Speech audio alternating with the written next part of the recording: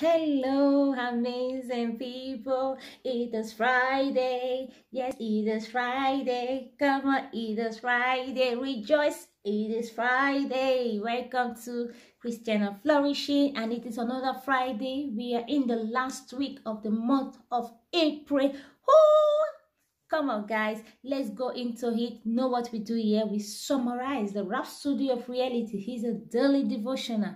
We are building ourselves in the word of the Lord. So let's jump into it for Monday, the 26th of Seek ye first the kingdom of God and His righteousness, the rest not Jara. Seek ye first the kingdom of God and His righteousness. Welcome back. Monday, the 26th of April 2021 says, in the book of First Timothy, chapter 6, verse 12 says, Fight the good fight of faith, lay hold of eternal life, whereunto thou art called, and this perform a good perfection before many weaknesses. Hallelujah. The Bible says, God so loved the world that he gave his only begotten Son, that whosoever believe in him should not perish, but have everlasting life. That is John 3 16. This is why Jesus came to give us eternal life. There could be a fellowship with God. The question to ask is Did he achieve his purpose? Yeah. Did God achieve it? I will say he achieved it in me. Hallelujah. The life is incorruptible. It is neither just a failure nor death. This is the life you have in Christ. The life you have in Christ is a is, is indestructible life. Hallelujah. You may say, but a Christian died.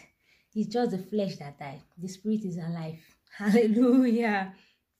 Without your spirit, without your flesh, you cannot live in this earthly world.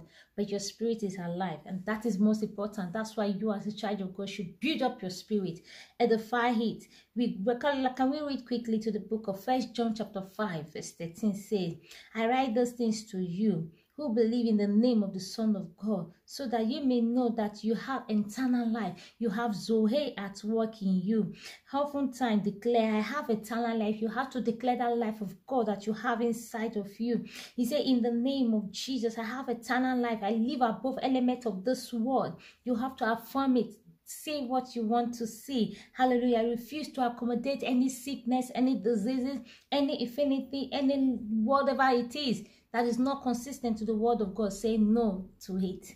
So the confession says, I am perfect in Christ Jesus. I refuse to accommodate any sickness, diseases, or pain in my body. I become very I because because I have taken hold of eternal life. I have reigned through Christ over element of this world in Jesus' name. Amen. Thank you so much. For those who are joining me, we are reading the Rhapsody of Reality and we are summarizing it. And if you want to get it every day, join the Facebook page. I'll put the link under you will see it. Join it. Is free so you can have it and meditate on this thing. This is what you should build your life on.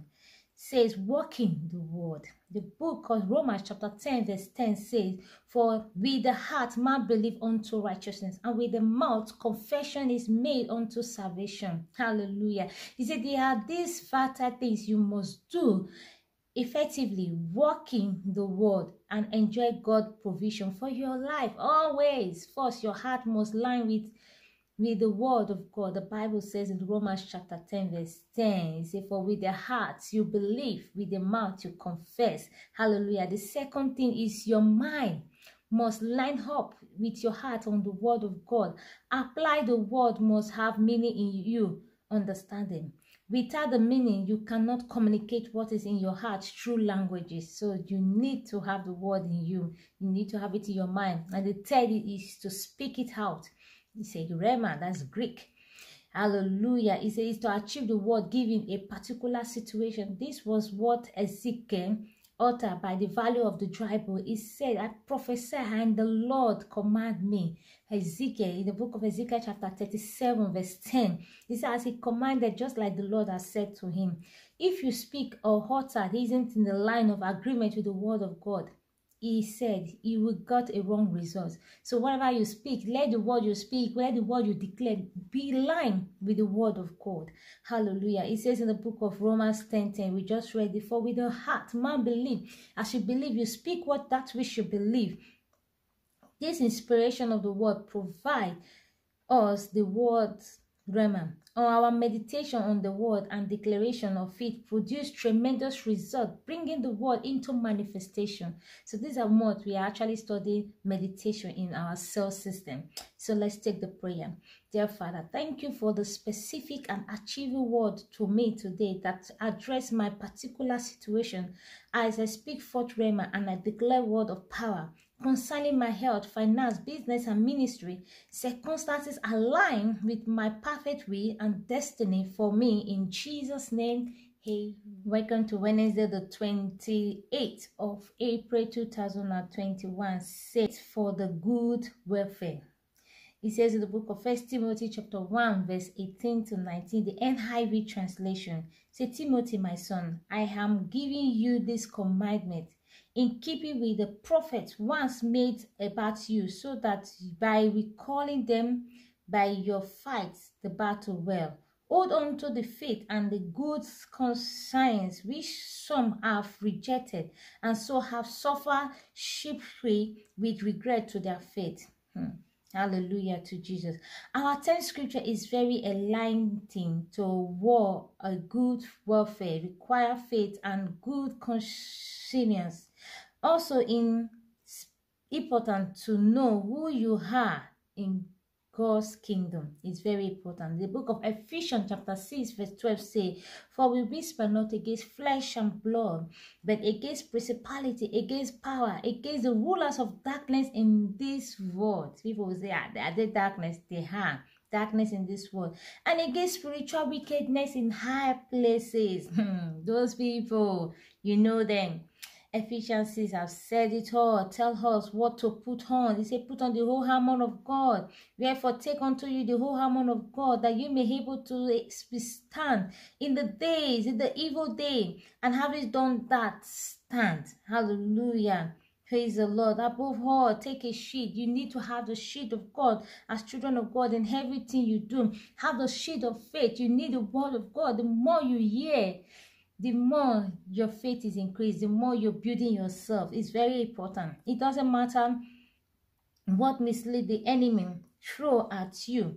Your faith core and win always. Hallelujah. Your faith in the word of God will definitely win. Have don't be moved, don't be distracted. Just focus your attention, your mind on the word of God in the rest of your life. It's very important.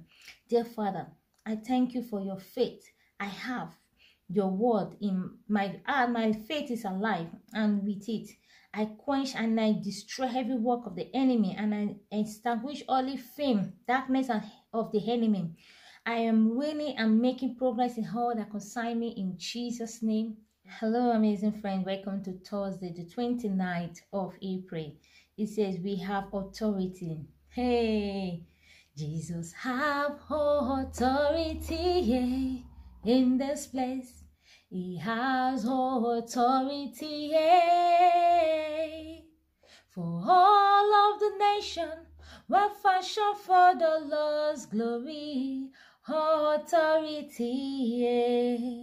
He said, When I was daily with you in the temple, we stretched forth our hand against me, but this is your hour and the power of darkness. Luke chapter 25, verse 53.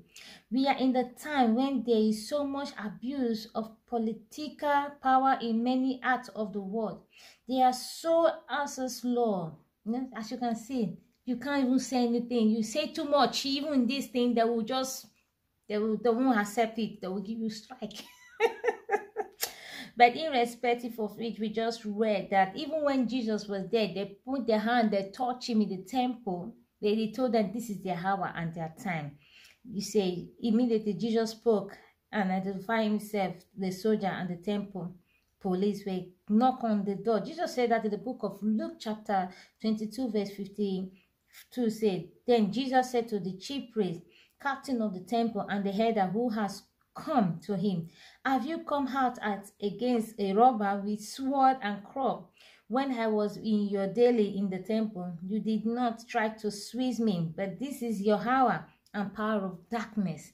So you know that if Jesus knew that it was, you should know that also. It's very important that children of God and Christ was crucified for us because it was their hour, it was their time. But you, as a child of God, now because of Christ, you have the victory.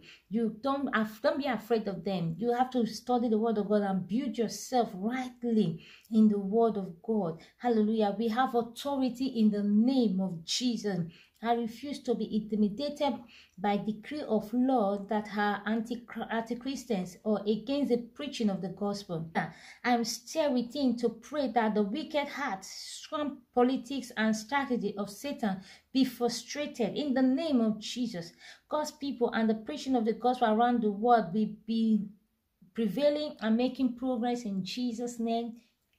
Dear beloved, if you are still watching me, I want to say thank you, thank you, thank you, thank you. And if you have not subscribed to this channel, this is another opportunity to, to quickly run, subscribe to this channel and put the bell on top. We do this every Friday and we have a personal video every Tuesday, 3.30 p.m. Europe time.